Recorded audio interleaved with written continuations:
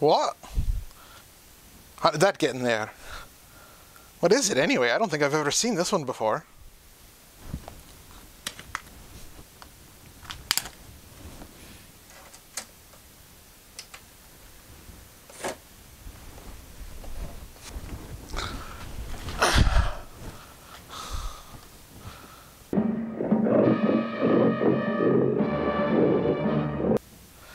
Oh, bloody hell.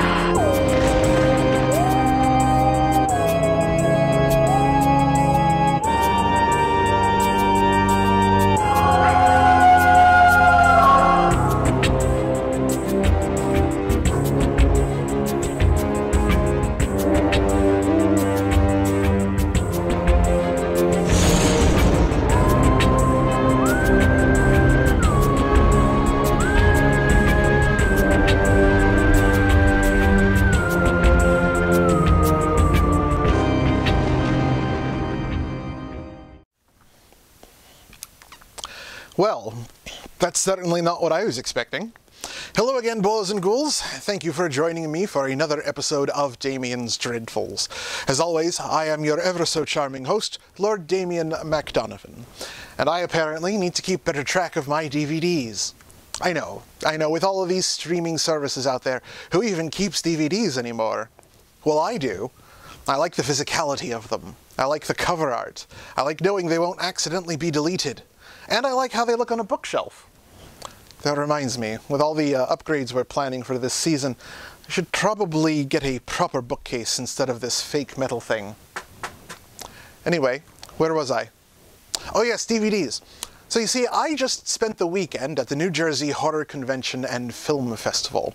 Hello everyone out there. Well, while I was there, I was extremely happy to meet Amanda Bearse, the female lead of one of my favorite horror movies, Fright Night. And yes, it's Bearse, as in hearse. I've been apparently pronouncing it wrong all these years too. She was kind enough to sign my copy of the movie along with William Ragsdale and Stephen Geoffreys, who I had met at a Pennsylvania convention a while back. Now I just need Chris Sarandon's autograph. Of course, I could use a few other things of Chris Sarandon's as well. His hair, his charm, his acting career, his money. Anyway, I'm glad I didn't try to get them to sign the actual disc in the case, though, since this uh, title is apparently backwards. Yes, creeps, unfortunately, tonight's feature presentation is a little independent film from 1967 called Night Fright. And based on the year this came out, you can already tell this isn't even a parody of the 1985 film. This doesn't even feature vampires. Now, unfortunately, we've got more aliens on our hands this time, folks, and despite being repackaged for a British audience in 1982 with the title ETN, the Extraterrestrial Nasty, with a poster that looks like a gory spoof of Spielberg's E.T., we don't get anything close to that iconic. The British version's even 23 minutes shorter than this one. Ew, why didn't I buy that version? Oh well, let's get this over with.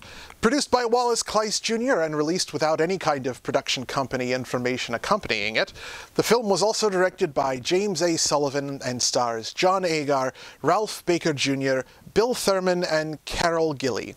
Damian's Dreadfuls, and I can't believe I'm going to say this, it presents you a film whose alien monster invasion plot was already played out by the time it was released in 1967.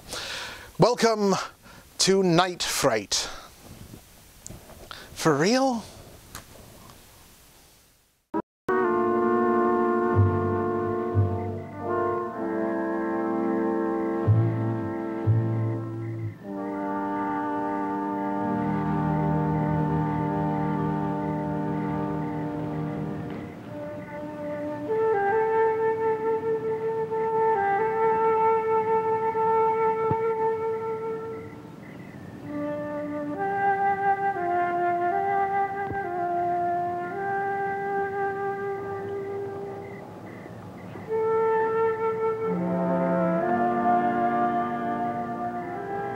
Heavens, I just realized where we are. Satan's Hollow. Why did we come way out here to park? Just to be alone. Silly, I know that, but why this spooky place? The lake would have been more romantic. Sure. And as busy as a meat market selling 10 cent steaks. We interrupt the music to bring you a news bulletin concerning the fiery object that was reported to have crashed in the hills east of town an hour ago. Fiery object? What's he talking about? Shh. Let's hear this. The object, whatever it was, has not been located yet, although state police are combing the area where it was seen to have come down. No trace of any wreckage or debris has been found. The only witnesses to the mysterious crash, a farmer and his wife, Mr. and Mrs. Henry Stokes, said they were just preparing to retire for the night when they saw a bright flash through their bedroom window. They ran to the window just in time to see what Mr. Stokes described as a giant-sized shooting star dive behind a hill and apparently explode. The witnesses were unable to say exactly how far away the fireball fell, and it is believed that this is the reason the searchers have been unsuccessful in locating it. Stay tuned to the station for further developments as they occur. And now we return to music for your late hour listening enjoyment. What in the world do you think it was? Not from this world, baby. You heard what the man said. It came from the sky. Buddy, aren't you ever serious? Sure, I'm real serious right now about you.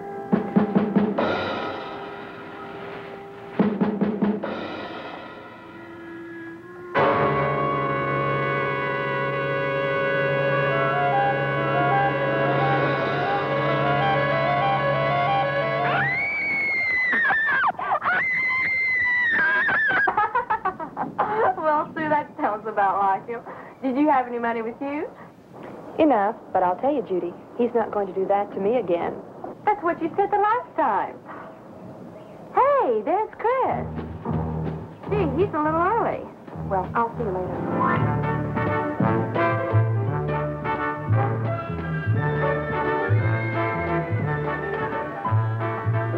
Hey, you ready? Just about, but you're a little early. I'll be right back. Okay, hurry.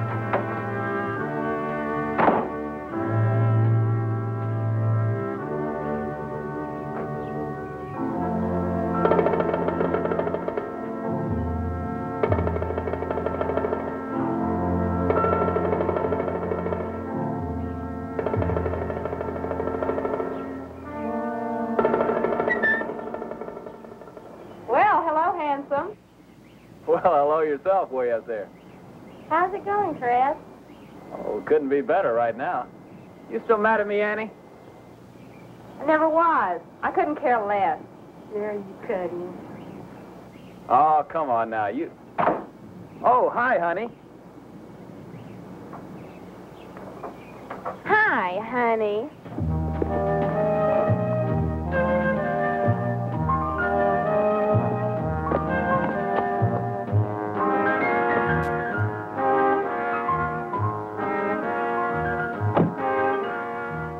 Shall we start? How about a nice drive in the country? Oh, just like that, huh? Are you sure you want to go with little me? Or had you rather see the country with Annie? Now, don't be like that. You know that's all over and done with, don't you? Well, I certainly thought so, but I no sooner turn my back and I see you looking up there with those big cow eyes. Oh, I was just talking to her. Now, come on. You know me better than that. Well, you did date her a while, and I suppose it's okay just to talk. But that's all you'd better do, Chris Johnson. all right, okay. Let's go.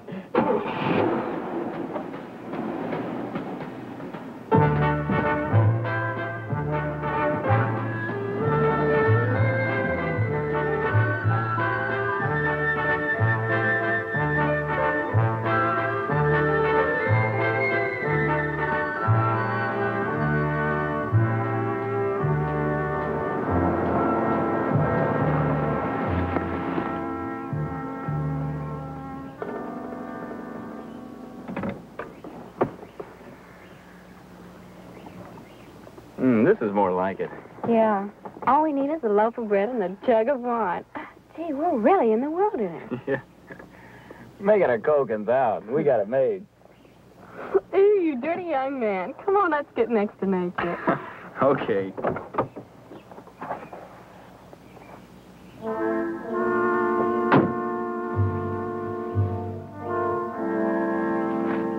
Hmm, this is nice. Yeah. It's good to get away from everyone sometimes.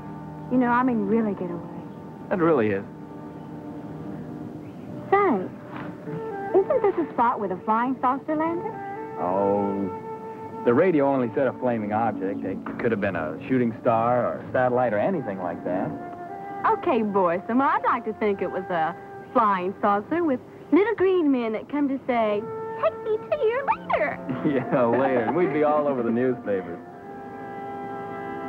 But, but seriously, have you, have you ever thought about, well, sometimes when I'm alone, I think about the things that we don't know about, well, about the sky and the earth and the air and the wind and, well, even this leaf. Well, Chris, I didn't know you were a philosopher. You sound just like Professor Clary. Well, I suppose I do. But Clary's lectures have started me to thinking. Like, oh, we don't really know what keeps this Earth in orbit or, or what's out there in space. Sometimes when I'm by myself, I... There they are.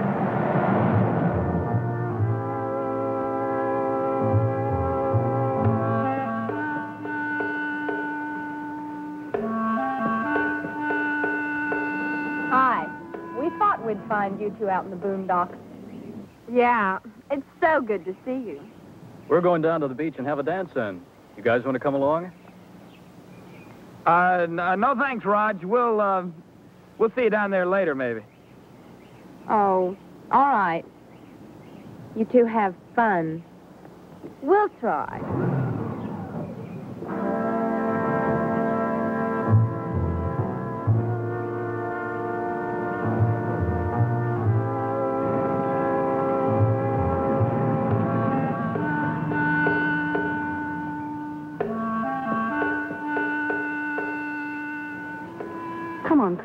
Take a walk.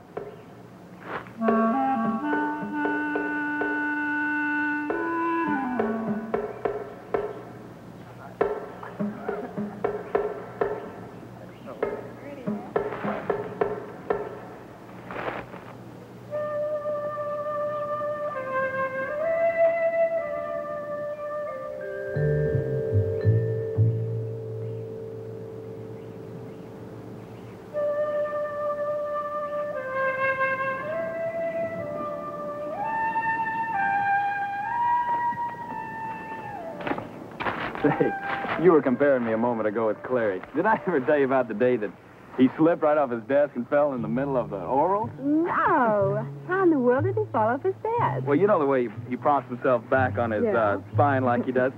well, on this particular day, they, well, they had just treated the floors, and he had both feet out in front of him. Both of them slipped and kapow, he fell. oh, poor old Professor Clary. I can just see him doing that.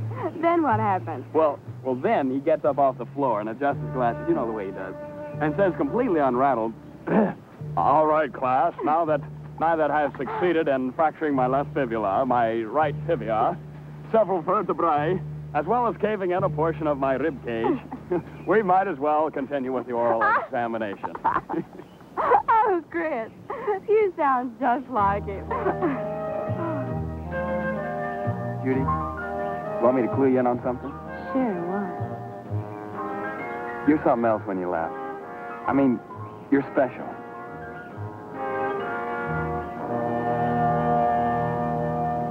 Mm. Just like the song says, sweeter than wine. Uh-huh. And you'd better not have any more. You're liable to get drunk. And remember, you're driving. Come on now, what's with this running off bit? Long weekend, remember? We don't have to be back in class till next Tuesday. Well, what do you want to do? Spend the next four days out here? Hey, that's the best idea I've heard today. Sorry, but I've got to get back home before Mrs. Pierce thinks we've eloped. Hey, that's another good idea. big talk. Nothing but big talk. You know you wouldn't get mad if your life depended on it.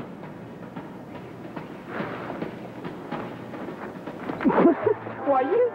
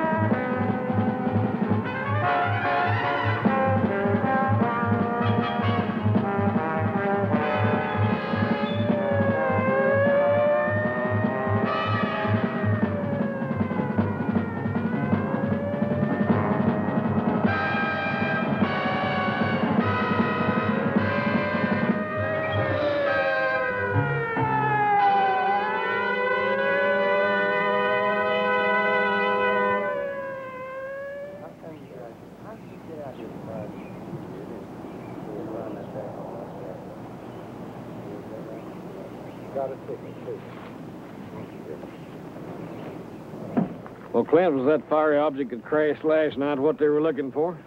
Yep, a rocket. A rocket? One of ours. And would you believe it? Those government boys were already there. How the devil they beat us out here? That beats me how they do it. But I'll tell you one thing. They won't get my vote in any popularity contest. What do you mean? I mean, that thing crashed right here in my county, and they won't let me near it. Makes me about half sore. I can't say that I blame you. Oh, come on, we're wasting time here. Let's go.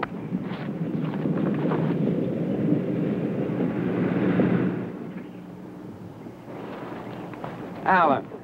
Alan Clayton. Clint Crawford. Or should I say Sheriff Crawford? Oh, Clint will do. How are you, Alan? Fine, fine. Say, I heard you were elected over old Tige Potts by a landslide. Congratulations. Oh, well, thanks. Oh, uh, you haven't met my chief deputy, Ben Whitfield, Professor Alan Clayton. How do you do? Hi, how are you? Fine. Alan was uh, head of the biology department at the university before you came here. But I thought you were over at Cape Kennedy. Well, what are you doing out here today? Hey, uh, is is that one of the rockets you built and now they're mad at you because it cracked up? I wouldn't be at all surprised. No, I guess they just figured they had to have an egghead in on the party. well, I hope you get along with those government boys better than I did.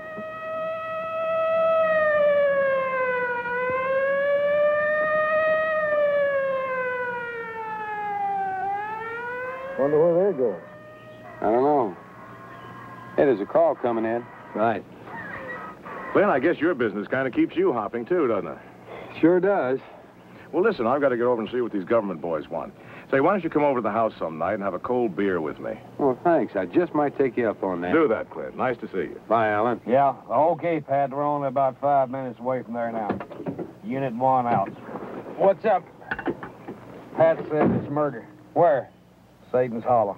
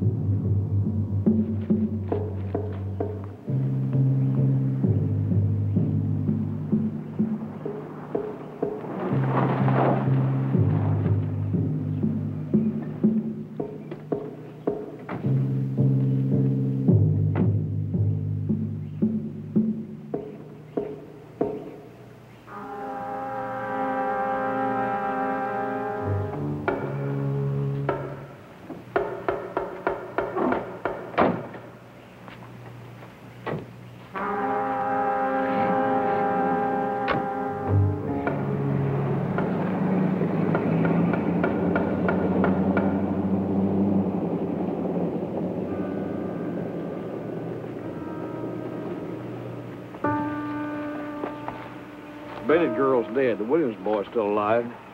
Ambulance driver said it's hard to tell how bad he was hurt. Sometimes a lot of blood makes it look worse than it is. I sure hope so. Clint, did you ever see anything as bad in your life as the way that little girl was chewed up?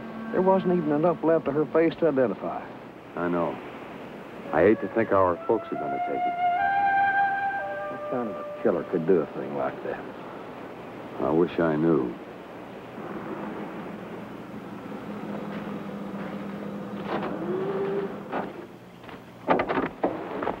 What the devil's going on around here, Clint? I went out there where that thing cracked up, and those government boys wouldn't let me near the place. Same thing happened to me. Seems it's in my county, but outside my jurisdiction. Now, one of them told me you fellas followed the ambulance down here, so I headed this way. What's going on? Murder, Wes. Girl chewed to pieces. Boy barely alive. Who, Clint? Buddy Williams and the Bennett girl. When did it happen? Sometime last night. Any idea who did it? No. No idea. You should have seen that little girl's body. What do you mean? I'll tell you later. Come on, help us look around, Wes. Let me get some pictures first. No, first we try to find some kind of a lead. Okay, where do we start? Then you go north. Buddy, you try that direction. I'll, I'll take the woods. And be careful.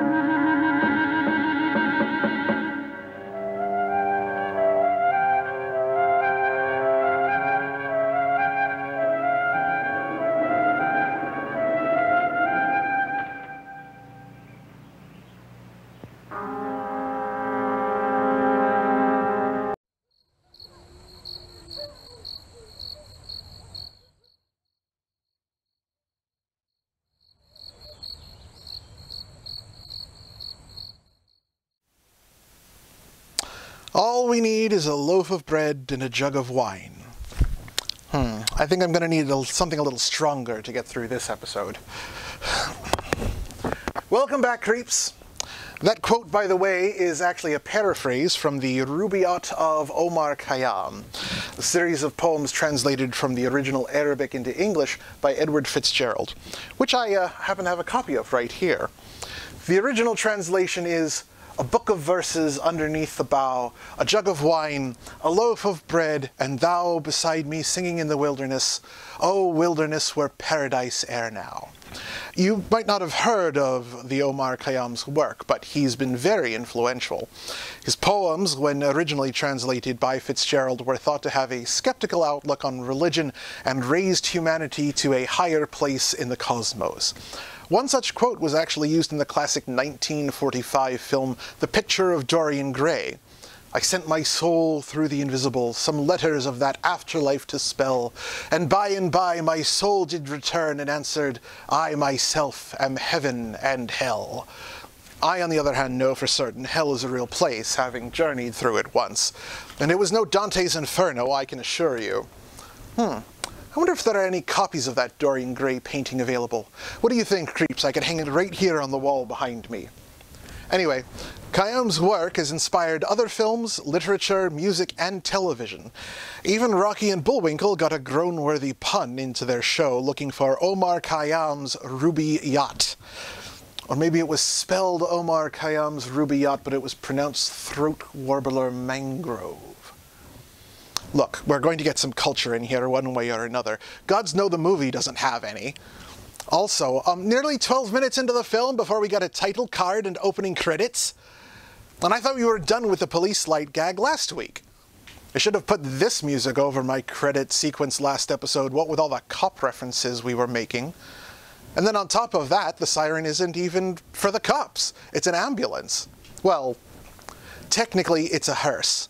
In fact, the Murray Orwosky Funeral Home, whose name is on the side of the vehicle, is still operating today in Sulphur Springs, Texas. Yes, well, I think I've rambled on quite enough. Let's get back to this freakish flop of a film.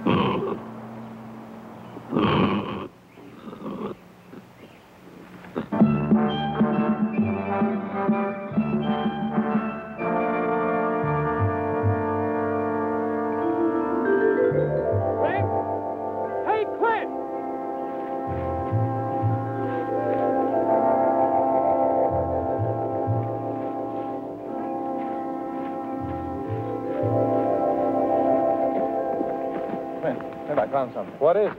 Come and see for yourself. What's happened? What's all the yelling for? Wes found something. Let's take a look.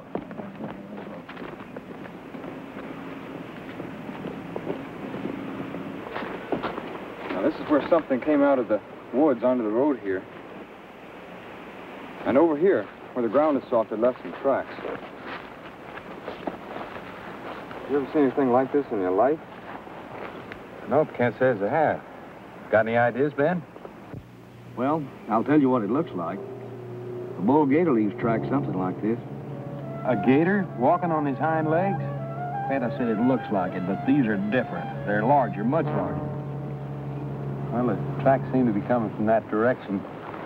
Ben, suppose, uh, suppose you backtrack, see what you can find out. I'll follow them, see where they lead. All right, Clint. Well, what about me? Oh, you go back to the car, call Pat, tell him to bring some plaster out here so I can make a moulage of these tracks. Tell him to make it snappy. Right. Oh, and Wes, uh, don't say anything about this to your newspaper, at least not for the time being. Clint, you know I haven't... Look, Wes, I mean it. Okay, Clint. For the time being.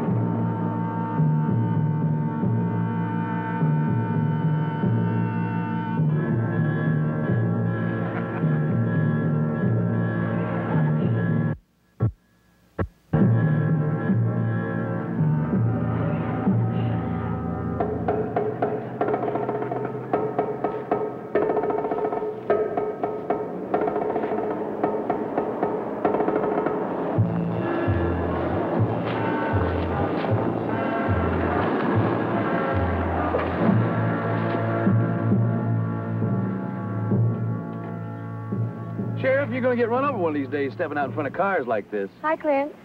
Hello, Darlene. What are you kids doing out here?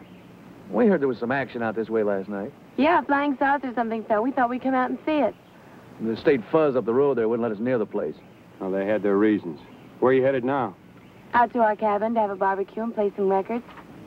Well, I'm sorry, but I'm going to have to ask you kids to forget the party and go on back to town. Oh, hold on a minute, Sheriff. Look, I haven't got time to stand here and argue. You'll have to forget the party. I mean it. Now, wait a minute, Clint. Just because you may be my future brother-in-law doesn't give you the right to tell me what to do. No, it doesn't, but being sheriff does. Oh, now, listen to the big tough Matt Dillon type. What are you going to do, give us till sundown to get out of town, Sheriff? No. I'm going to give you about one minute to turn this car around and get out of here. Because I'm about to lose my patience. Well, I've already lost mine, Fuzz. Look, punk, don't ever call me Fuzz. When you talk to me, call me Sheriff. Now get out of here.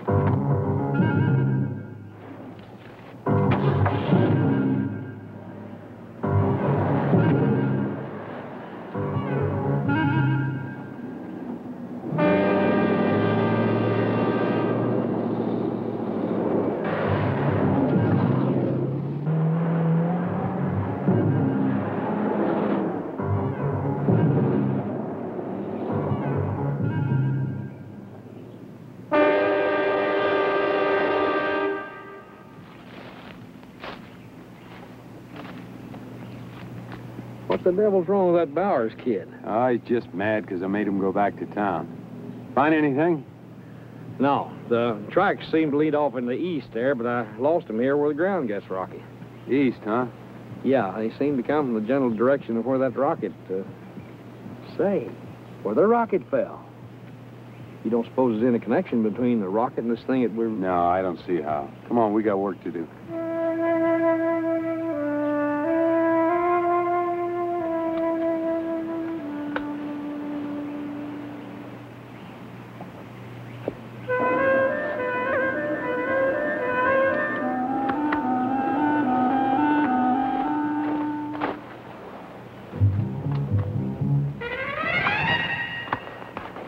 Any calls yet?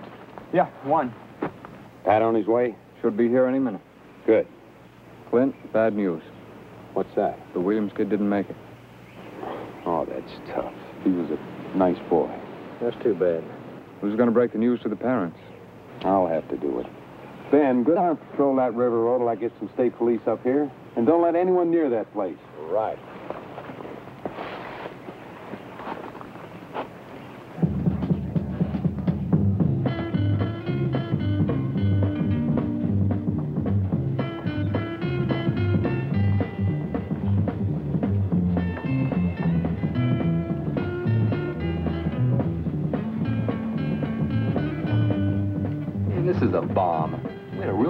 Real swinging weekend planned. That stupid sheriff had to go and blow it. Well, you know, they're all the same. You pin one of those dime store badges on them, and all of a sudden, they're big men from Tough Town. The nerve of that guy. Where's your sister seeing him anyway, darling? It's a long story. He and Bob, you know Joan's husband, were close friends. They fought together in Korea. Then when Bob was killed and Clint finally got back, they kind of drifted together. The weird thing is she's really stuck on him. Boy, are you lucky. Gonna have a real live sheriff in the family.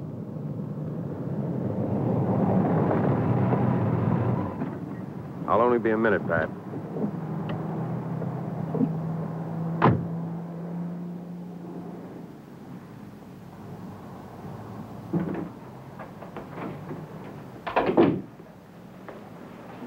Hi, honey. Aren't you a little early? Joan, honey, I'm sorry, but Don't tell me. Our dinner date tonight's canceled. I can't help it. Something real serious came up. I know. I was in emergency when they brought in those kids. Then, uh, then you saw them. Yes. Clint, what happened to them? That's what I'm trying to find out. Well, I'm worried. Th- They say it happened at Satan's Hollow. Darlene went up there this morning with that Rex Bowers. Well, you can stop worrying. I ran into them and told them to come back into town. Which reminds me, why don't you discourage Darlene from running around with that Bowers boy? He's headed for real trouble. I've talked to her. She won't listen. Well, you better have another talk with her. I'm sorry, honey. I gotta leave.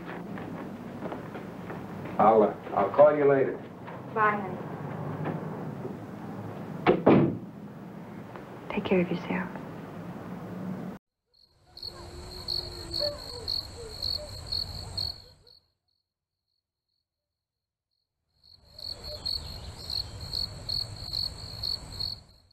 You know, when I think how stupid people really are, keeping us away from the lake and blowing our party. Yeah, I guess they think we're gonna drive out there and load their old rocket in the back seat of your convertible and then make off with it. Haven't you heard they think we're foreign spies? Well, I'm not gonna let the fuzz tell me what to do. I'm gonna wait till it's dark and go out there again. You with me? Yeah, groovy. Well, what do you think? I'm in, but I think we should invite everybody. Yeah, the more people, the crazier the blast. Hey, there's someone we can invite. Who? Chris Jordan. He and Judy probably are looking for something to do.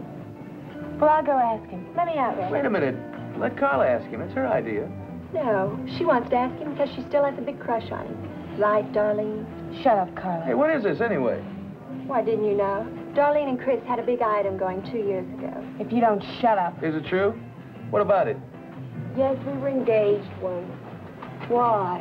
Well, why didn't you tell me anything about it? You never asked. Hey, man, sit down. Don't, don't blow your cool over some chick. Oh, gee, I hope you didn't get in any trouble with your house mother. No, Mrs. Pierce wasn't here when I came in. Ooh, that's good. Look, why don't I pick you up about seven and we'll go for a drive or something? Maybe it'll make you feel better. Well, maybe we'll run into some of the gang and drum up some excitement.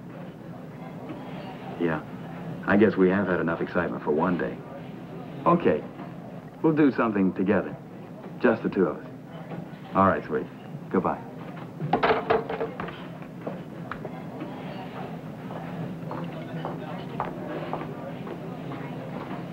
Hey, you didn't even talk to him. No need to. I heard him calling Judy. They want to be antisocial. Just the two of them. How do I love thee? Let me count the ways. You heard the whole conversation? At least his side. Lay it on us, baby. What'd he say? What'd he say? He said what? Well, you can tell him for me I don't give a damn how undermanned his department is. I need state troopers up here to help me. That's better. Now the state barracks is giving me trouble. State police chief's an old friend of Tige Potts. They're probably still sore about your getting Tige's job. Uh, look, Clint, I hate to bring this up right now, but... Wait a minute, Wes. Pat, I want you to call Alan Clayton at the university. Find out if he's available tonight. If you don't find him there, try his home. Pat, use the phone in the other office, will you? Right, sure. Okay, Wes, now, what were you saying? I was saying that I hate to bring it up right now, but I've got a paper to get out. Now, how long do I have to hold this story? Look, Wes, this involves the welfare and safety of the whole county. If word of this got out right now, no telling what might happen. Clint, I have a responsibility to my subscribers. And I have a responsibility for their safety. Look, all I'm asking you is to keep the lid on it a couple of days. Now, how about it? All right. I may as well go back to the office. Uh, Wes, this is for the state crime lab. Drop it off for me, will you? Sure. Anything else? No, that's all. Now, don't forget to drop it off. I want the lab to get on it right away. Don't worry. I'll uh, see you later.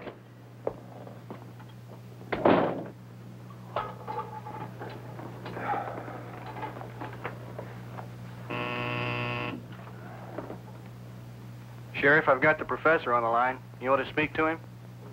Thanks, Pat. Hello, Alan. I got a puzzle you might be able to help me with.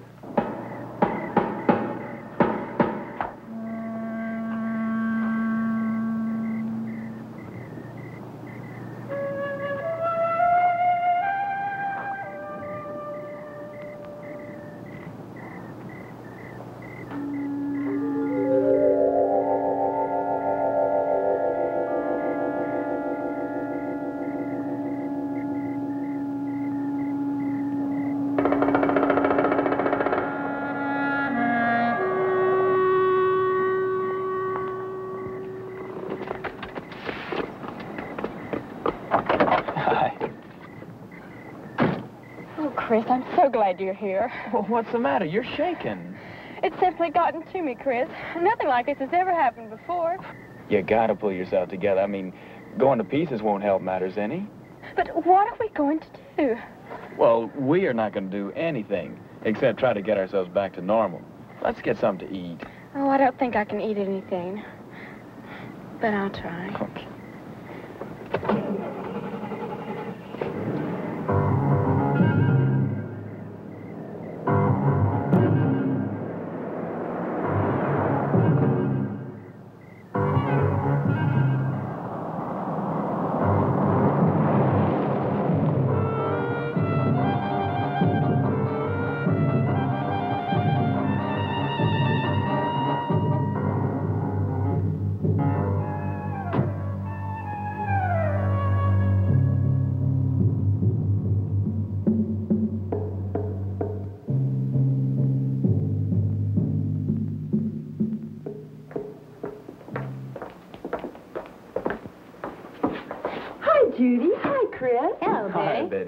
Do you have? A couple of hamburgers and cokes, I guess. You're on your way to the blast, too.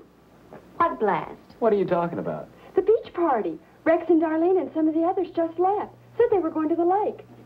Chris, they don't know what danger they're in. Oh, they'll be all right. The cops will never let them get near the place. What if they sneak in? You know how stubborn Rex is. No, I don't. I'm not as well acquainted with him as you are. Oh, Chris, don't be juvenile. Look, Judy, I could care less what happens to Rex Bowers. What about Darlene and the others? I think you should call Sheriff Crawford so they can notify the officers out there to watch for them. If any of them were to get hurt or killed, we'd never forgive ourselves. All right.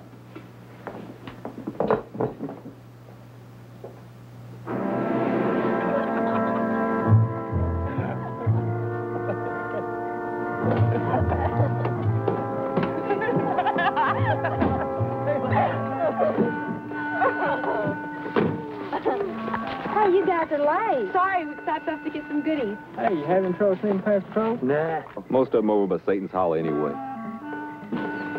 ahead and have it. Yes. I got it.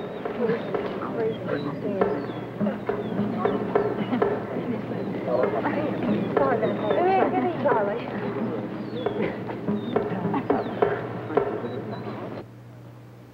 The sheriff isn't in his office. Did you try Darlene's sister? Yeah, but she had already left the hospital. I called her house, and she isn't there either. Okay. We'd better go to the lake and tell the gang to stay away from there. Whatever you say. Hey, what about your order?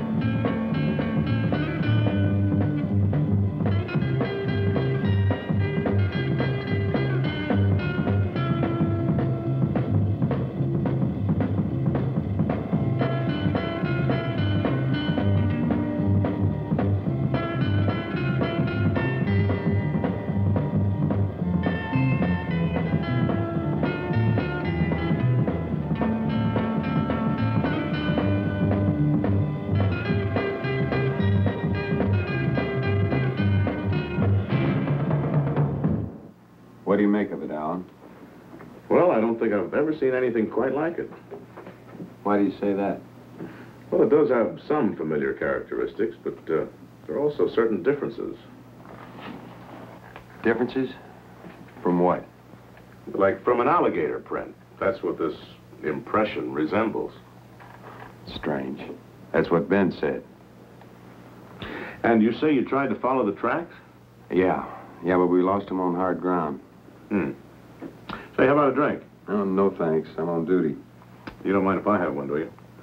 Be my guest.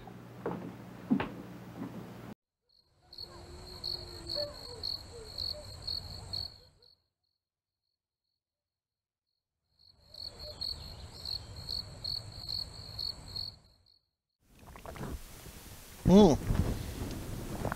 There you are, my little crypt kickers. Welcome back to Damian's Dreadfuls. How are you enjoying the film so far? We're halfway through this thing and we haven't even seen the actual alien yet. Not that we can see much of anything on this movie. I mean, I totally get the whole day for night shots thing, but does it really have to be so dark? At least we get a fun soundtrack. A soundtrack performed by the Houston, Texas garage band The Wildcats, no less. The Wildcats would also play in another movie that was scored by Christopher Trussell, the composer for this film. That movie would be the 1967 film Fulfillment, Something Worth Remembering. So far, this movie seems like it would be worth forgetting. Apparently, this movie is something of a remake as well, not just an obvious ripoff. According to Wikipedia, Night Fright is based on a movie called The Demon from the Black Lake, but uh, no such movie seems to exist. I was able to find record of a demon from Devil's Lake on IMDb, which is apparently directed by the writer of this film three years earlier. It does have some familiar characteristics, but there are also certain differences. But other than the IMDb title, I can't find any information on it at all. And speaking of links to other movies, the editing for Night Fright might conjure up some memories of another independent stinker of a film. You see, the director of Night Fright, James A. Sullivan, was also the editor for Manos, The Hands of Fate. The editor for Night Fright, Arthur Sullivan, who only has one IMDb credit, and it's for this movie. Wait a minute. James A. Sullivan. Arthur Sullivan. Again, familiar characteristics, certain differences. I can't wait to see this alien creature on the loose. I wonder how familiar that will look. Anyway, uh, let's get back to it.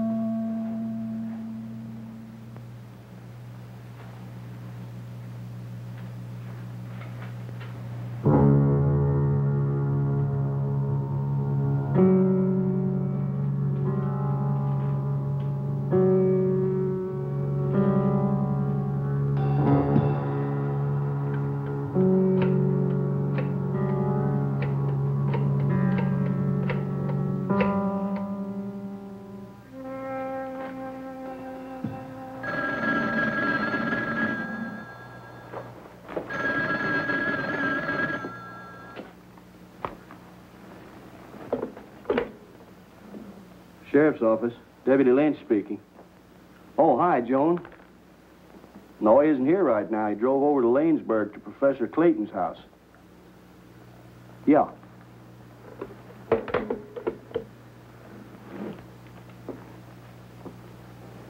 Then, uh, then you're not sure what kind of animal made that track. No, but I'd like to study the moulage a little longer. All right, Alan. But I need to know something as soon as possible. Right. I'll try and let you know something by morning.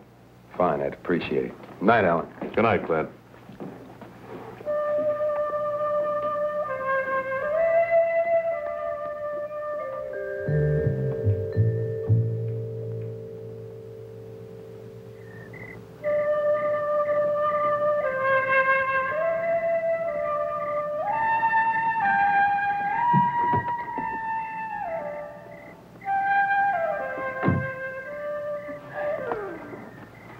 1 calling base. Unit 1 calling base. Pat, I'm leaving Professor Clayton's house, headed for Satan's Hollow. Unit 1 out.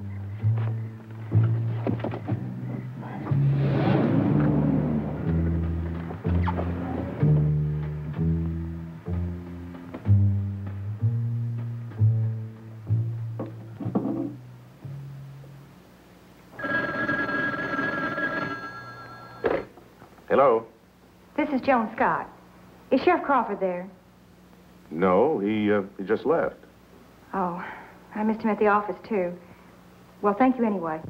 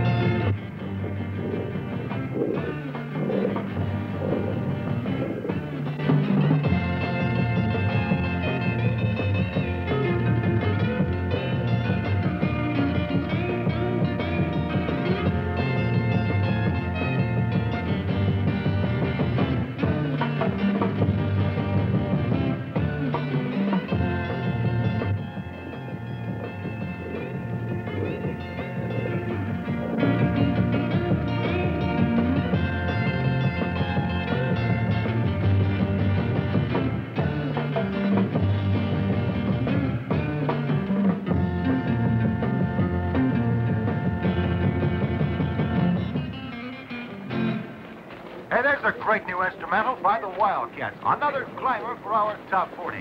Now, if you cats want to hear the swingingest place in town, Hey, we someone's reckon- coming. Chris and Judy.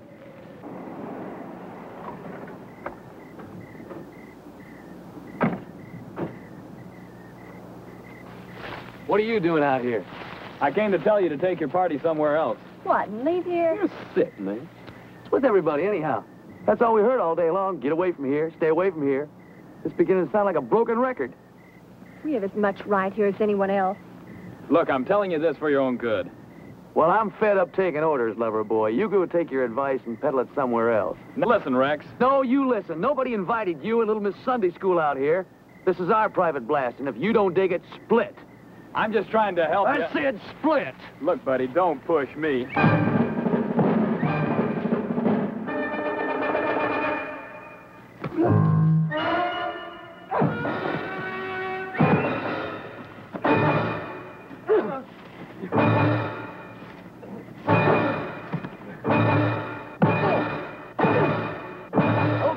Okay. You proved your point. All right. I'm telling you for the last time. And you'd better take my word for it. You're in a lot of danger if you stay here. And of advice. Come on, Judy. You okay, honey?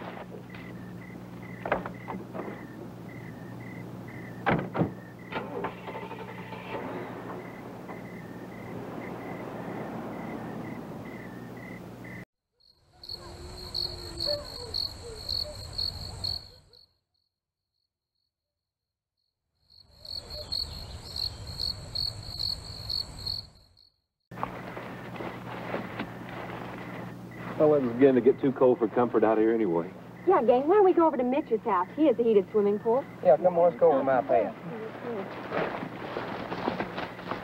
Coming, Rex? Well, you cats go ahead and split if you want to. I'll leave here when I get good and ready. Yeah, but you got the wheels, remember? So ride with Mitch. Hey, don't get touchy about it. Come on, Carla. What about you, darling? I'd better stay with Rex.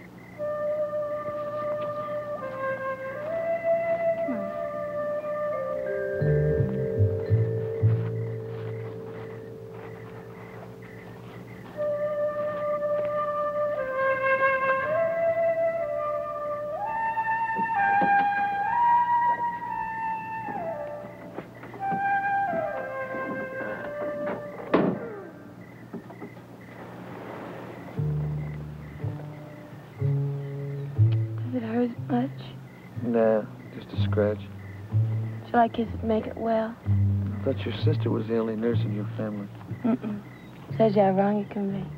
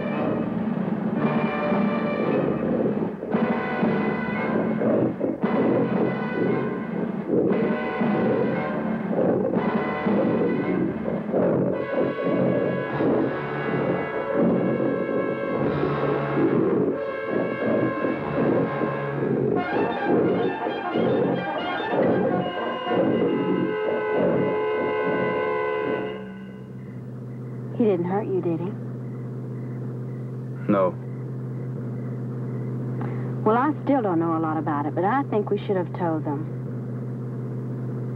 Maybe you're right, but the sheriff told us not to say anything, remember? At least anyway, I tried. Oh, Rex will never listen to anyone. But I guess the sheriff knows what he's doing. I sure hope so.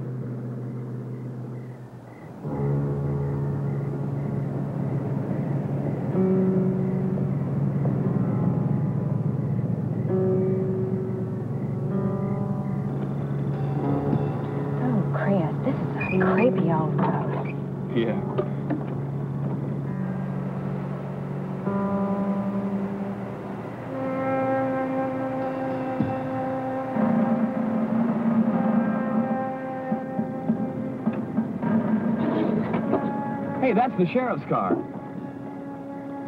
I don't see anybody around. I think I'll take a look. Wait, Chris, don't leave me. Okay, come on.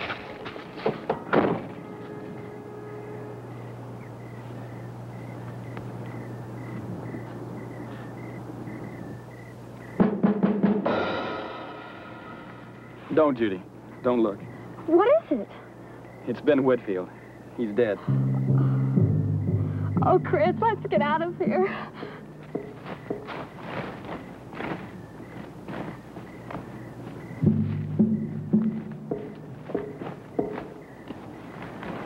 Chris. Chris! Chris! Chris, Judy, Sheriff Crawford, what happened to you? Never mind. Where's Ben? In the car.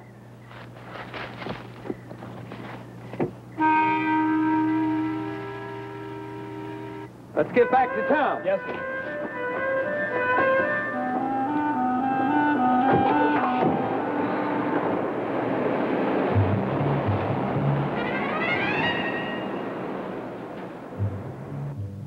I don't care how short-handed you are. I need more men. You sent me two men to patrol that whole area. Some kids slipped past them last night, and one of the kids was killed. Now, what am I supposed to tell his parents? That their state patrol couldn't spare the men? No, I need at least 20 men. Then they'll be there in an hour. Fine. Pat, come here. I want you to go out there and meet those troopers. See, they cover every road leading in there. That one, that one, and the Satan's Hollow Road. I want that whole area sealed off. Got it? Right. Then hop to it. I'll be along later. Yes, sir. Honey, how's Darlene? She'll be all right. I left her at my aunt's house with a doctor. Poor kid was in shock. All the way home, she just sat there beside me, as rigid and motionless as a, a mannequin. Well, shouldn't you be with her? I mean, there's no... What did you say? About Darlene? No, no, the part about the mannequin. Clint, I don't understand. Just a minute, honey.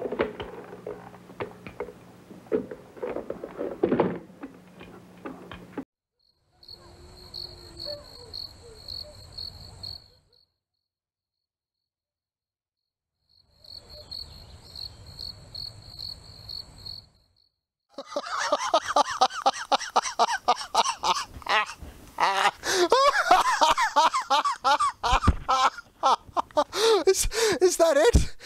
Is that the monster suit? What the alligator-like tracks they took molds of? This thing looks like a robot monster without a helmet. I mean, what is that thing? It's like a gorilla with mange. this thing looks like it looks like a Sasquatch with alopecia. Seriously, is this what Beast Man was up to before joining Skeletor's forces on Eternia? oh, Oh, by Lucifer's beard. Well, it's definitely no Jurassic Park. They spared every expense.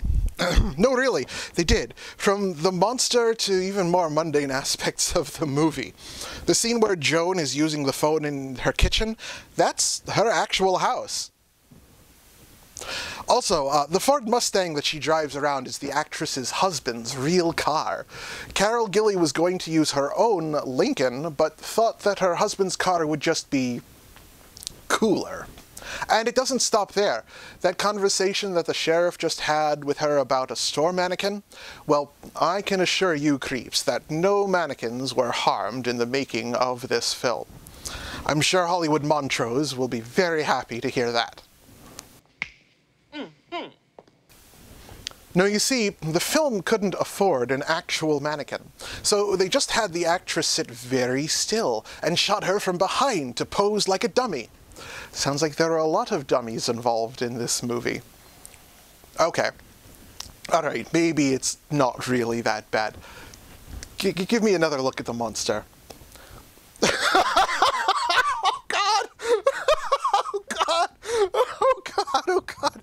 Just cut! Cut! Cut! Cut! Just, just go back to the movie.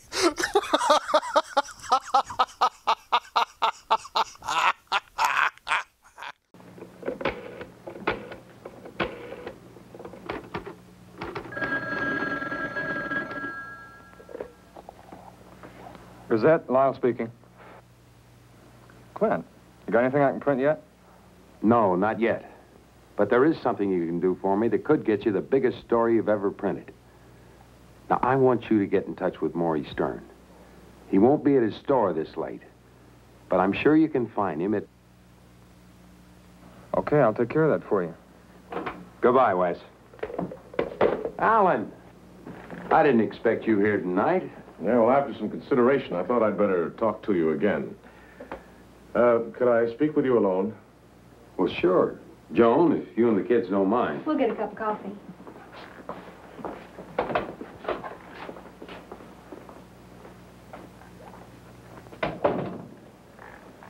All right, Alan. What's on your mind? Well, Clint, I'm afraid I wasn't being entirely honest with you earlier this evening. To tell you the truth, as soon as I saw that moulage, I had an idea what that creature was. Why didn't you tell me? Well, I'll try and explain. When I was at Cape Kennedy, I was involved in space research. Well, it was top secret work, so naturally there were some people I had to check with before I could give you any information. Then what you're saying is that this creature, or whatever it is, is connected with the government space program? I believe so. You see, we were involved in a project called Operation Noah's Ark. The purpose of the project was to try to ascertain the effects of cosmic radiation on live animals. Well, we sent a rocket further out into space than any rocket containing life had ever gone. It contained over 40 different kinds of animal life. But when it got 300,000 miles out, which is well beyond the moon, we lost contact. Well, after about three months, we abandoned hope and gave it up for lost. And then suddenly, last night, one of our tracking stations picked it up again as it re-entered the Earth's atmosphere. Now, the thing that was strange about it was the length of time it had been gone. Almost six months. Then what happened? Well, you know the rest. That was it that fell outside of town last night. That's why they wouldn't let anybody near it. And that's why they brought you out there. Clint, I can't begin to describe the horror of what we found inside that wreckage. I'll never forget the sight of those horrible mutations. They were still alive? Some of them were. The rest of them had been eaten by something huge. Yeah, yeah, I ran into that something earlier this evening. It almost killed me. It's killed four times already. It's not going to kill again if I can prevent it.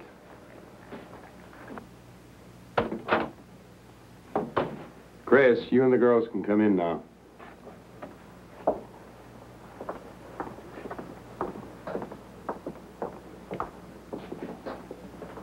Chris. Yes, sir. Your, uh, your father owns a construction company, doesn't he? Yes, sir. Here's a list of things I need. Can you get them for me? Sure, no sweat. Okay. Meet me at the West Shore intersection as soon as possible. Yes, sir. Hey, Chris, wait for me.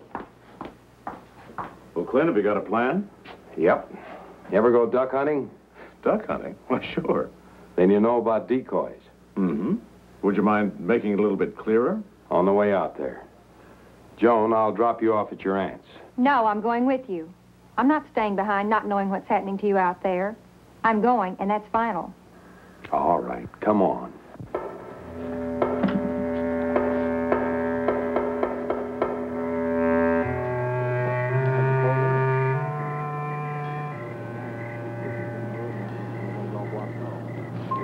Oh, you think that's enough?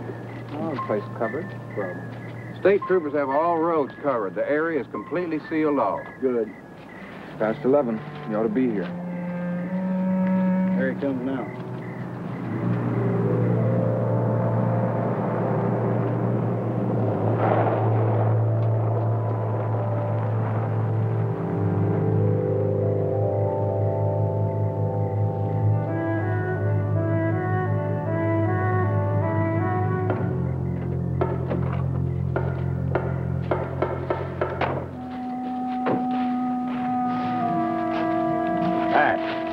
Coming? Area sealed off tighter than a drum. Fine. How about you, Wes? Get everything? Everything but uh, one. Joan! Honey, I hate to ask you this, but there's one small favor you can do for me. Now, Wes, Got everything except one.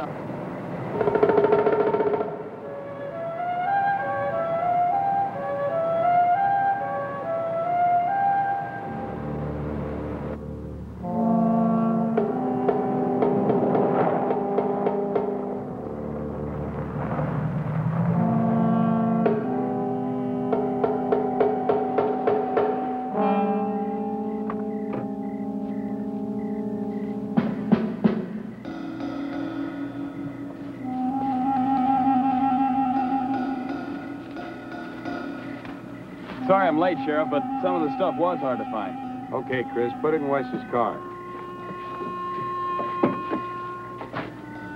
Chris? Yeah? Why did you bring Judy with you? Why didn't you take her back to her dorm? Well, I didn't want to delay you. I, I thought you wanted the stuff right away. All right, you stay in the car with her. Yes, sir. Everybody, move out.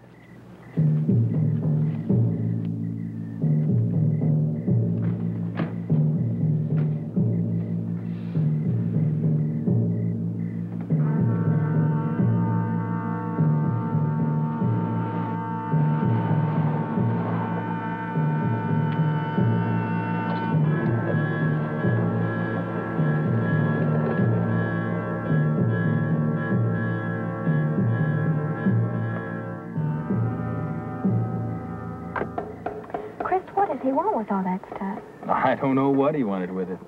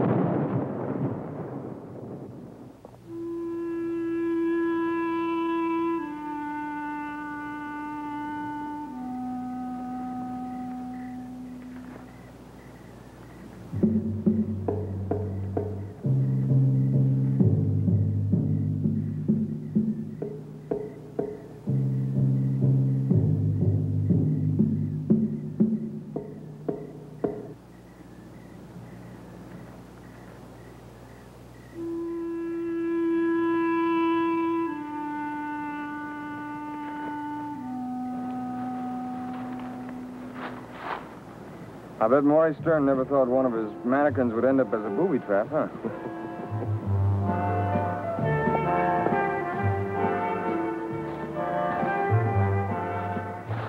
You all right, honey?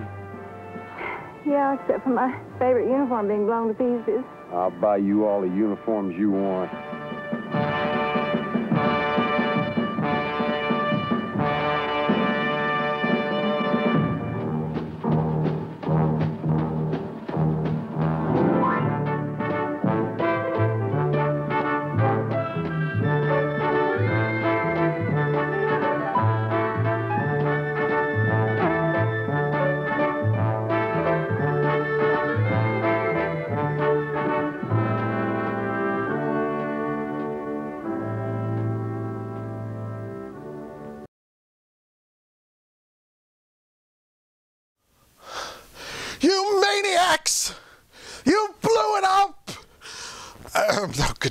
Gods. And how about that? It's not even an alien. Welcome back, creeps. I can't tell you how glad I am to finally be done with this stinker of a movie. And yes, in the end, the monster is just some Earth animal mutated by cosmic radiation. Nothing extraterrestrial about it, as its later UK release would suggest. You know, between this and Stan Lee's Fantastic Four, people in the 60s had some really wild ideas about radiation in space. And just think, only two years after this movie came out, mankind would land and walk on the moon for the very first time. Wild. But I guess you live long enough, you'll see just about everything. I've seen a lot during my 341 years. Some things I wish I could forget and uh, I think this movie will be added to that list. Night Fright, however, is a movie that will live on only in infamy. Review publication Creature Features gave the film one and a half out of five stars, referring to it as deadly dull and lacking imagination. The Encyclopedia of Science Fiction found nothing noteworthy about the movie and says that it offered nothing except to those interested in 60s fashion and cars. Moria said that actor John Agar does a good job, but the film is overall dreary and deserves its obscurity, giving Night Fright only half a star. It's got a two and a half star rating out of 10 on IMDb, and doesn't even have a Rotten Tomatoes score, other than the 9% audience rating. Fantastic Musings referred to the movie as a dreadful mistake. Well, my show is called Damian's Dreadfuls for a reason.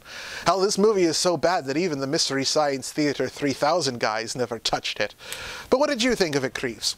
Personally, I think it was a badly shot, slow-paced, and strangely edited bore. But hey, we're watching it, so it must have done something right. I think I'm going to do something right and get myself a stiff drink not something alcoholic, just a drink from a dead guy. Well, boys and ghouls, thank you for joining me on another episode of Damian's Dreadfuls. As always, I have been your ever so charming host, Lord Damian MacDonovan. Until next time, have a ghastly evening.